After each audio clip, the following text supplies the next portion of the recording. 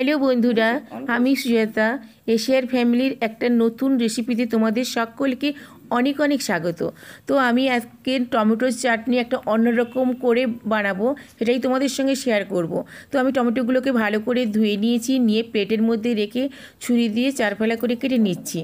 এবারে সবগুলো রেডি হয়ে গেছে দেখো তো এবারে আমি একটা মানে গুঁড়ো মশলা রেডি করব সেই গুঁড়ো মশলা হচ্ছে মৌরি আর হচ্ছে জিরে আর শুকনো লঙ্কা। একটা ভেজে গুঁড়ো করে নিব। এবারে দেখো তেলের মধ্যে আমি এখন পাঁচ ফোড়ন শুকনো লঙ্কা দিয়ে দিয়েছি। দিয়ে আমি এই কাটা টমেটোগুলো তুলে দিচ্ছি। দিয়ে ভালো করে নেড়ে চেড়ে যখন একটু জল বেরোবে তখন লবণ আর হলুদ দিয়ে দেবো। আর এদিকে ভাজা মশলাগুলো আমি গুঁড়ো করে নেব।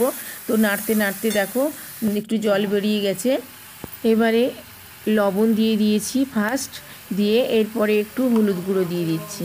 তারপরে আবারও সুন্দর করে নেড়ে চেড়ে নিচ্ছি, যতক্ষণ না ভালো করে টমেটোগুলো ভাজা ভাজা হচ্ছে। এরপরে আমি চিনি দিয়ে দিচ্ছি। যতটা পরিমাণে যে যেরকম মিষ্টি খাবে সেরকম দেবে। আমাদের একটু বেশি চিনি খায়, চাটনি মানেই একটু মিষ্টি লাগবে, সেই জন্য অনেকটা পরিমাণেই দিয়েছি। তো দেখো, এবারে সুন্দরভাবে একটু মাখা মাখা হয়ে এসছে চিনি দেওয়ার পরে। দারুণ লাগছে। এবারে আমি একটু কাজু আর কিশমিশ আগে থেকে জলের মধ্যে ভিজিয়ে রেখেছিলাম, সেগুলো দিয়ে দিচ্ছি। আর দিয়ে দিলাম খেজুর। সরু সরু করে কেটে রেখেছিলাম। দিয়ে দিলাম তাহলে টমেটো চাটনি সব কিছু মশলা এবং সব বিভিন্ন রকম আইটেম দিয়ে দিয়েছি, দিয়ে ভালো করে আবারও কষে নিচ্ছি। পরে আমার গুঁড়ো করা ভাজা মশলাটা ওর ওপরে ছড়িয়ে দিলাম।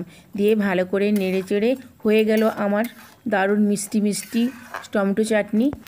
তো এই চাটনিটা আমার হয়েই এসছে।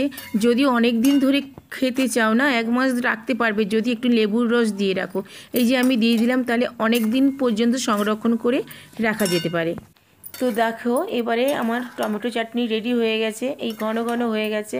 যখন দেখবে এরকম হয়ে এসছে, তার মানে রেডি তো যাই হোক বন্ধুরা, আমার এই ভিডিওটি রেস্ট কেমন লাগল অবশ্যই লাইক কমেন্ট করে জানিও। আর যদি ভালো লেগে থাকে, তাহলে আমার চ্যানেলটি সাবস্ক্রাইব করে দিয়ে আমার পাশে থাকা বেল বটনটি অন করে রেখো পরে নোটিফিকেশান পাওয়ার জন্য। তো সবাই ভালো থেকো, সুস্থ থেকো। পরে একটা ভিডিওতে দেখা হচ্ছে। বাই